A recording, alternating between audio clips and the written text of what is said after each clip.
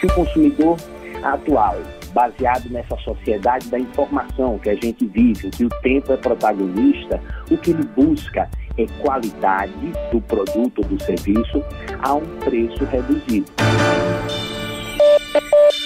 Aqui, o melhor conteúdo da Rádio Nacional. Curta nosso vídeo, se inscreva no canal e compartilhe.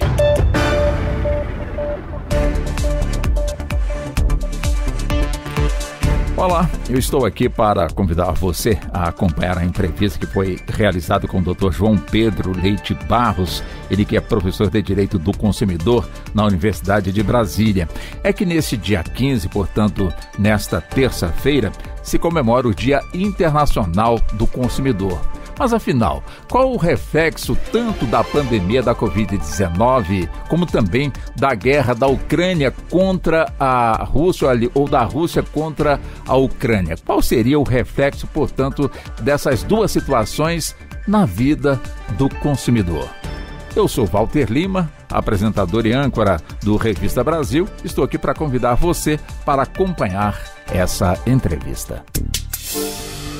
Esses dois pontos levantados, pandemia é, da Covid-19 e a guerra da Rússia contra a Ucrânia, de alguma forma, tira o brilho de qualquer comemoração desse Dia Internacional do Consumidor, uh, doutor João? Sem dúvida, na verdade, Walter, faz é, nós, consumidores, refletirmos um pouco sobre o nosso papel na relação de consumo, o nosso papel na sociedade, mas de toda sorte é importante também a gente lembrar dos grandes avanços é, que nós tivemos nos últimos tempos, inclusive também até um tanto é, por ser reflexo da pandemia, especificamente no caso, por exemplo, do comércio eletrônico. Trouxe muitas facilidades para que o consumidor é, adquirisse determinado produto ou serviço fora do estabelecimento comercial, é, permitindo que ele fizesse uma triagem de preço, de qualidade do produto, sem necessariamente ele ter que ir em loja. Então temos avanços e retrocessos, e é o momento, sem dúvida alguma, de refletirmos sobre isso. Encaixa então direitinho aquele ditado nessa situação de que de um limão se faz uma limonada, doutor João Pedro? Sem dúvida, sem dúvida. Especificamente com relação a, o pós-guerra, né, que a gente sabe né, e que a gente espera que acabe logo essa guerra na Rússia, na Ucrânia e que isso tenha é, é, finalize é, de forma imediata, mas a gente sabe que isso pode, de certa forma, trazer alguns reflexos, como já tem sido feito é, e que a gente já tem observado, seja na bomba de gasolina, com valores de fato exorbitantes é, da, do óleo, da gasolina, seja também no aumento de preço de uma forma geral.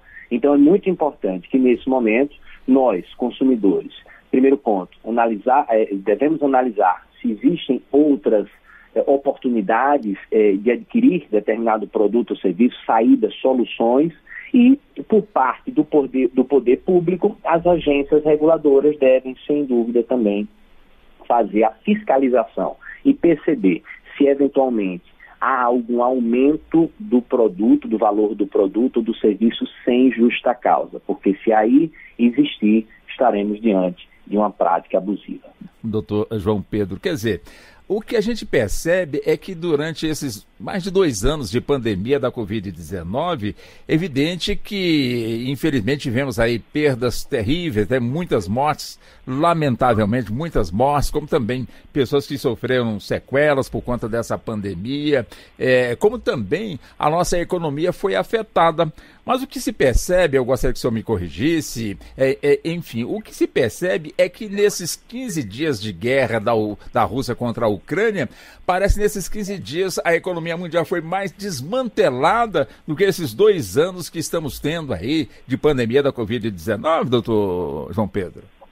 Sem dúvida. O que a gente tem percebido, Walter, é que nós, e agora falo como brasileiro, é, temos uma dependência em diversos produtos com relação a outros países. Então, é muito importante essa diversificação é, por parte do poder público, especificamente com relação é, é, não só diversificação, mas sobretudo como fomento da nossa, da nossa indústria, da nossa agropecuária. Isso é muito importante, porque isso tem reflexo imediato para o consumidor.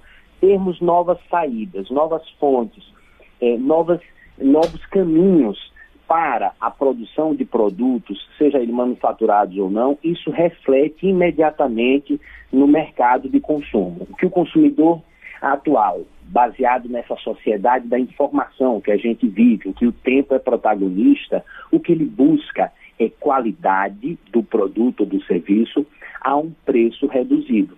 É o famoso custo-benefício, é ter, de fato, uma possibilidade de adquirir aquele produto, aquele serviço a um valor razoável, um valor de mercado, um valor justo. Então, essa legítima expectativa que o consumidor tem e que deve ser sempre alcançada e albergada pelo fornecedor, deve ser superada e deve ser visualizada diariamente. Então, é muito importante que a gente perceba que esse reflexo é um reflexo imediato no mercado de consumo. O senhor também conversa com o nosso editor da Agência Brasil, o jornalista Écio Amado. Vamos lá, Écio. Doutor Pedro, a minha pergunta nesse Dia Internacional do Consumidor é uma questão que parece meio cultural no Brasil, ou totalmente cultural no Brasil, principalmente na área dos combustíveis, né, dos postos de combustível. É muito comum é, no Brasil, os preços dos combustíveis aumentarem durante esse período, por exemplo, esse período que estamos vivendo, né, com essa desorganização nos preços do, dos combustíveis em função dessa guerra é, envolvendo Rússia e Ucrânia, a Rússia é um grande produtor de petróleo e também envolve nesse preço a questão política, já que o, o barril do petróleo Brent, que é o petróleo que é negociado em dólar, é, chegou a 140 dólares o barril, provocando essa confusão. E os preços no Brasil, como em outros países, como os Estados Unidos, subiram, né? Os preços do combustível subiram. Só que nesses países, passada essa crise, o que é que acontece? Os preços voltam ao patamar anterior. Ao contrário, no Brasil, a gente verifica que os preços sobem mas para descer, principalmente nessa área de combustível, é preciso que seja dotado medidas muito rigorosas, duras, para fazer com que o, o, os donos dos postos, os vendedores, os, os que fazem o transporte do, do combustível, desçam o valor dos seus fretes também. Como é que o PROCON encara essa situação cultural no Brasil, principalmente nessa área de postos de combustíveis? De fato, um tema muito importante que você colocou. Olha, é, duas questões importantes dentro desse tema. A primeira delas é o que você acabou de mencionar, é o reflexo imediato aqui no país com relação à, à própria guerra e o que, a guerra tem feito diariamente aqui com esse aumento, especificamente o aumento é, dos, dos, valores do combustível. O que é que é importante? Ponto um, fiscalização imediata das agências reguladoras de serviço. E aqui a gente tem visto, de certa forma, uma atuação é, é, importante dessas agências, mas, sobretudo, uma atuação do sistema de defesa do consumidor, do Sistema Nacional de Defesa do Consumidor, inclusive através dos próprios PROCONs. Então, essa fiscalização que tem sido diária, estadual, municipal e também a nível federal, ela é, sem dúvida alguma, é relevante nesse momento, seja no momento do aumento do valor, porque o aumento ele pode eventualmente até existir se tiver base jurídica e legal para isso, até porque a gente tem percebido que há um aumento da matéria-prima, como você acabou de mencionar, do próprio valor do barril, mas sobretudo o pós, sobretudo o extra, o depois, o depois desse momento. E aí é importante também, aí é muito importante que esses, esses setores de fiscalização continuem fazendo que é, o, que, o, que é, o que a gente pode perceber hoje para nós, consumidoras e consumidores?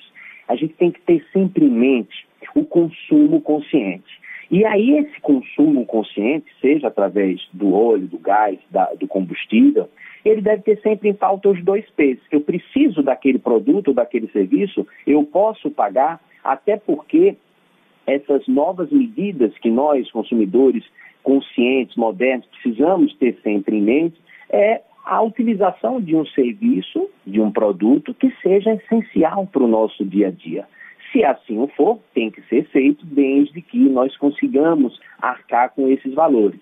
Então é sempre ter em mente, ponto um, a fiscalização por parte do poder público sobre esses valores e ponto dois, nós, consumidores, analisarmos e diariamente se aquele produto, aquele serviço é essencial e como nós podemos buscar novas saídas também para adiante desse cenário é, que nós vivemos.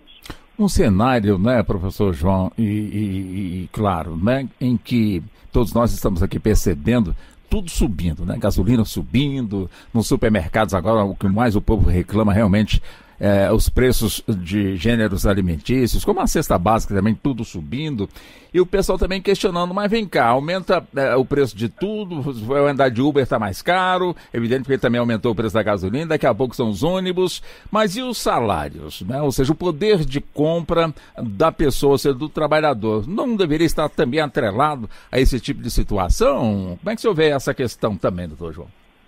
Sem dúvida, né? O que a gente tem visto é a diminuição do poder de compra, especificamente no caso do consumidor, é, ao longo dos últimos anos. E é por isso que essa fiscalização, a fiscalização necessária, eficaz por parte do poder público e por nós, por parte dos consumidores, nós devemos sempre perceber se nós estamos diante de uma relação de consumo benéfica, se aquele produtor, se aquele fornecedor, ele tem sido eficaz na nossa relação, se aquele produto ofertado, ele tem sido útil para o nosso dia a dia, até porque, já também fazendo um link com a pandemia, o comércio eletrônico permitiu que nós, consumidores, adquiramos é, produtos e serviços, muitas vezes sem saber se aquele produto ou serviço ele de fato é útil no nosso dia a dia. Compras impensadas, repentinas, que acontecem em cima desse tipo de situação. A gente está na Semana do Consumidor, no Dia Internacional, que é amanhã, e a gente vê hoje já muitas mega promoções. Então é muito importante que o consumidor fique atento a isso, especificamente no comércio eletrônico. E para o fornecedor, ele tem que ter sempre em mente que a informação é a medida da compreensão do consumidor. No momento em que ele oferta aquele produto, ele tem que ter a certeza plena de que o consumidor compreendeu as informações que estão sendo transmitidas. Então, esse ponto realmente é um ponto muito importante nesse momento e nesse cenário em que vivemos, em que buscar um determinado produto, um determinado serviço em uma mega promoção pode ser eficiente para o nosso dia a dia, pode ser importante, mas ao mesmo tempo pode ter efeito reverso se se tratar, por exemplo, de um elemento supérfluo no nosso, na nossa vida. Então, é muito importante que nós façamos, nesse momento, uma ponderação produtos e serviços são necessariamente utilizados no nosso dia a dia, vão servir ou não vão? Essa é uma reflexão que a gente precisa fazer no dia a dia e especificamente nessa semana, no Dia Internacional do Consumidor, que é amanhã. E nós agradecendo aqui muito ao senhor pela gentileza e atenção com a Rádio Nacional, doutor João Pedro. Até uma próxima, doutor João. Até uma próxima. Forte abraço. Aqui, o melhor conteúdo da Rádio Nacional. Se você gostou, curta nosso vídeo, se inscreva no canal e compartilhe.